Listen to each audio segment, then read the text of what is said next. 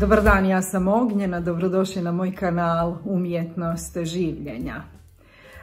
Danas ću pokušati u slobodnom stilu odgovoriti na jednu zapravo temu koja se otvorila ovim našim recentnim razgovorima koji, koji se svi tiču u biti integracije iskustva s narcisima i kako se nadići, kako se izdići i kako riješiti suštinski problem. Međutim, ono što se otvorilo kao pitanje je e, kako u biti je moguće i kako objasniti da se još nismo riješili narcisa i kako e, zapravo e, kako riješiti taj problem jer tu je suština problema. Naime, to me dosta pitate to je nešto čime se bavi i moja edukacija život bez narcisa samo moj, tako da e, možete se još uvijek prijaviti, znači početak je 26.1. tako da ako želite uistinu e, razriješiti ovo pitanje, onda je možda to pravi put. Međutim, odmah sad jedna digresija, znači odmah ću vas upozoriti, taj put E, taj put zapravo nije lak, on stvarno traži i radi posvećenost. Baš, e, baš mi danas piše jedna, jedna draga osoba, kaže, ja Ognjena, ali stvarno je ovo teško. U onom smislu, ne da vas zaplašim, nego teško je u onom smislu da stvarno traži neko vrijeme i posvećenost, uistinu se posvetiti ovoj problematici. Međutim, ono što je dobro je da jednom kada riješite, onda ste uistinu Znači level up, znači nema natrag i držim da je to sjajno. Jer šta je alternativa? Alternativa je ne doći taj level up, tako da e, držim da svakako vrijedi. E, prije nego što krenemo, hvala vam što ste tu i hvala vam što me pratite. Oslušajte reklame do kraja, e, možete mi se javiti ako želite raditi sa mnom individualno. U svakom slučaju, znači čitamo se, pišemo se, e, možete me podržati. Hvala vam svima koji mi to učinite, znači super zahvala, mali gumb dolje desno. E, idemo mi na našu temu, kako velim ići slobodnim stilom, zato što e, više nekako želim sabrati e, ta razmišljanja i dodatno tema je uistinu složena u onom smislu da otvara mnogo više od nekih pitanja, znači razvoja ličnosti, od pitanja psihologije. I ono što sam ja zaključila, problematika odnosa sa narcisima i problematika narcisoidnog poremećaja je suštinski, to je e, filozofsko pitanje. Kada mi odemo, znači korak dalje, zapravo zaključujemo da je filozofsko pitanje. I sad pokušat ću to sublimirati u ovu formu. Kažem, znači, onako jedan, jedan e, brzo potezno, jel, skraćeni suštinski dio, jel.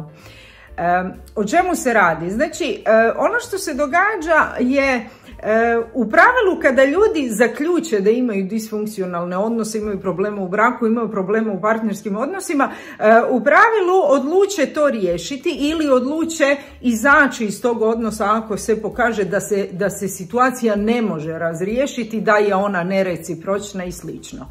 Međutim, to je tek e, ono vrh ledenog brijega i ono što u pravilu se događa kada ljudi se uistinu posvete e, tom putovanju i tom radu na sebi, u pravilu se uvijek pokaže kako je narcisoidni partner, partnerica zapravo i nisu možda toliko eh, i nisu možda najveći problem u životu i najveći problem u odnosima i u pravilu se pokaže da je osoba eh, odrastala u toksičnoj sredini, u toksičnoj familiji. Naravno, ovo se može sad proširiti generacijski, što ja sad neću činiti. Eh, znači, u pravilu se pokaže da postoji ta neka toksična dinamika na koju osoba naučena i koja poslije rezultira e, odnosima s manipulatorima, toksičnim odnosima i zapravo disfunkcionalnim odnosima. Ono što je uvijek e, i ono što je zapravo i meni osobno u pravilu bila enigma je e, kako objasniti da osoba koja je vrlo razborita, osoba koja je emotivno inteligentna, osoba koja je u pravilu čak i mudra, e, kako objasniti tu sklonost toksičnom odnosu? To je možda početak rješavanja, odnosno nalaska rješenja. To je početak puta do rješenja te enigme. Jer pazite, to nije logično. To nikako nije logično. Međutim, kako se to može objasniti? Ono što sigurno znate, ako me pratite, ako ste dovoljno duboko gledali, znači i pratili ovu problematiku, mi kada govorimo o toksičnoj familiji, mi zapravo e, govorimo o odrastanju u e, jednoj, u sredini koja je zapravo vrlo nepovoljna za dijete, kod jednog ili oba roditelja koji imaju znači neki od klaster B poremećaja ličnosti i ono što je bitno naglasiti e, poremećaj ličnosti je uvijek moćniji od roditeljske uloge. A mi kada govorimo o klaster B-u, mi govorimo o zlu Zašto je to jako bitno? I sad, naravno, ja to, pazite, zlo je jedna filozofska i moralna kategorija. Jel? Međutim, e, mi upravo govorimo o tome i to je bitno za neko kasnije razumijevanje. E, zlo, međutim što je bitno na ovom mjestu? O zlu inače najbolje, znači po moje osobno mišljenje, e, najbolje govori Scott Peck u svojoj briljantnoj, briljantnoj i jako uznemirujućoj knjizi Ljudi laži, uh, uh, uglavnom on korelira zlo sa destrukcijom i specifično ubijanjem. Zašto je ovo bitno? Ako je roditelj zlo, one zapravo ima, on odnosno ona ima destruktivni utjecaj na svoje dijete. I ovo, ovo zvuči vrlo, ovo je vrlo protuprirodno. Međutim, i, i mislim da je to jedan od razloga zašto je ovo i tako teško pojmiti. Znači, to je vrlo protuprirodno i nerijetko roditelji, znači roditelji koji su zli to čine na neki način čak i nesvjesno. Znači, oni će govoriti diametralno suprotne stvari. Oni će uvijek govoriti kako iznimno vole svoju djecu i slično, međutim, njihov utjecaj na djecu je uvijek destruktivan. Jer su oni u zlu. Šta se tu dalje događa? Djetetu je roditelj sve. Djetetu je roditelj Bog i automatski dijete ovaj destruktivni utjecaj usvoji kao ispravan. Usvoji ta uvjerenja, usvoji to jako popularan izraz, usvoji to programiranje kao svoje. I tu dolazi do de facto kolonizacije uma, o tome, o tome dosta govorimo u samoj edukaciji. E, I ono što je ironija, ovo je u biti neizbježno. I, i, i, i uopće dijete, znači i čak dijete uopće nije odgovorno za ovo. Zašto dijete nije odgovorno za ovo? Zato što je nejako i zato što je u potpunosti ovisno o roditelju. O tome jako dobro e, govori Gabor Mate e, kada kaže kako e, dok je dijete nejako i, i, i ovisno o roditelju, ako dođe do kolizije znači potrebe za povezivanjem i potrebe za vlastitom autentičnošću, znači za njegovanjem svog vlastitog bića, uvijek će pobjediti potreba za povezivanjem. Zato što nepovezivanje sa roditeljem za dijete znači smrt. Tako da dijete u biti odabirom ovakvog programiranja, dijete zapravo odabire život.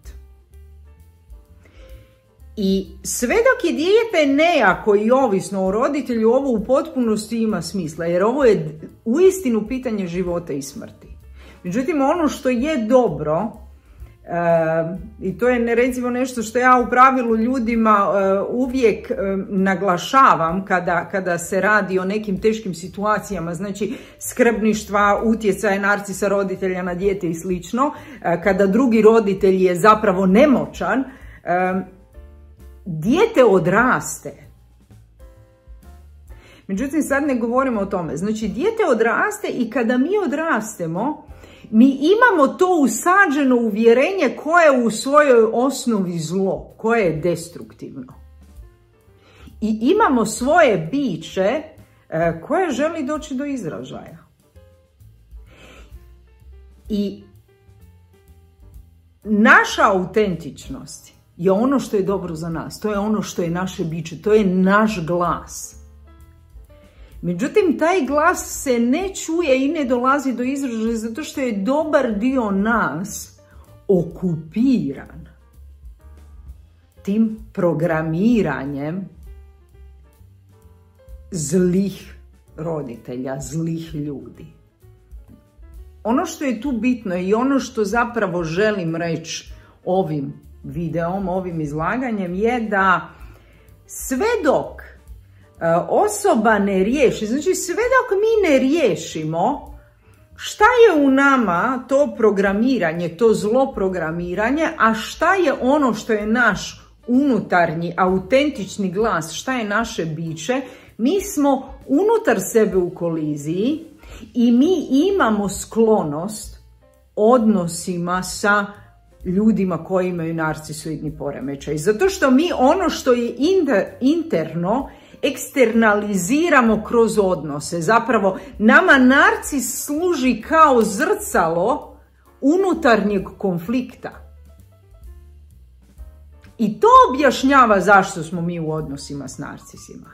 Međutim, onog trenutka kada ne postoji unutarnji konflikt, nestaje naša sklonost i naša potreba za narcisima zato što je enigma riješena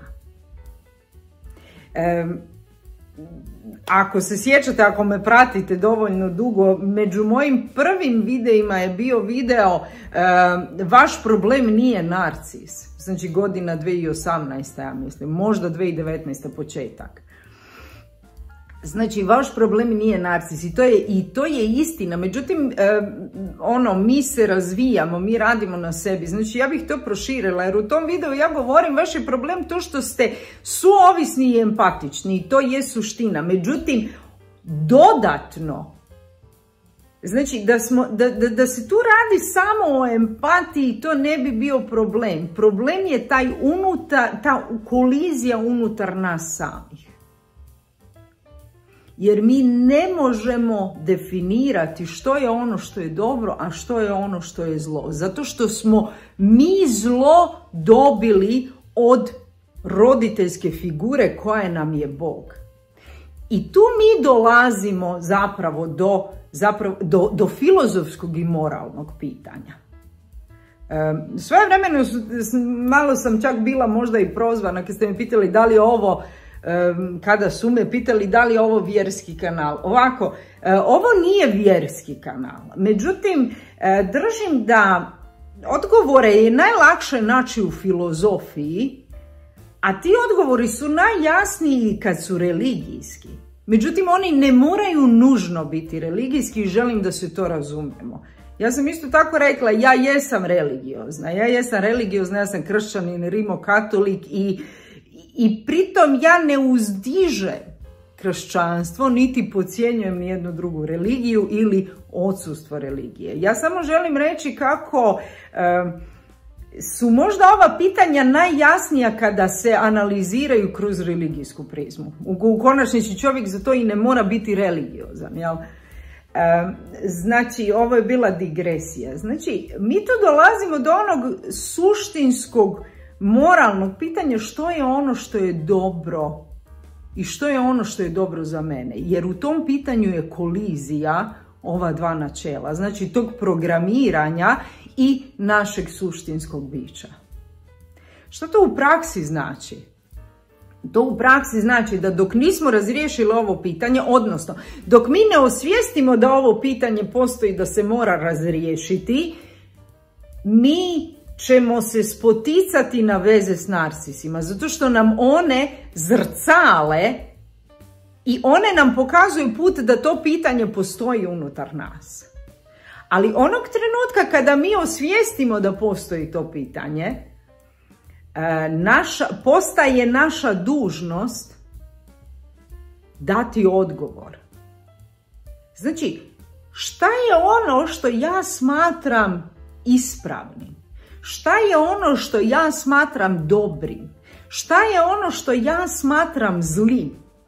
I sad ovo zvuči narcisoidno, jer ja kažem šta je ono što ja smatram dobrim, šta je ono što ja smatram zlim. E, držim da su pojmovi poput dobra i zla zapravo fundamentalni i oni nisu relativni.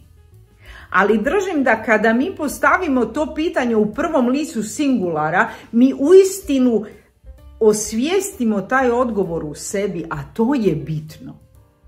Jer načelno gledano dobro je ono što ljubi život. A zlo je ono što uništava život. Sve ostalo je izvedenica i manifestacija ovoga. Ali ono što e, je, ono što želim da vam ostane od ovog e, izlaganja je postavite pitanje što je dobro i postavite pitanje što je zlo. I kad postavite ta pitanja onda ćete i doći do tih odgovora.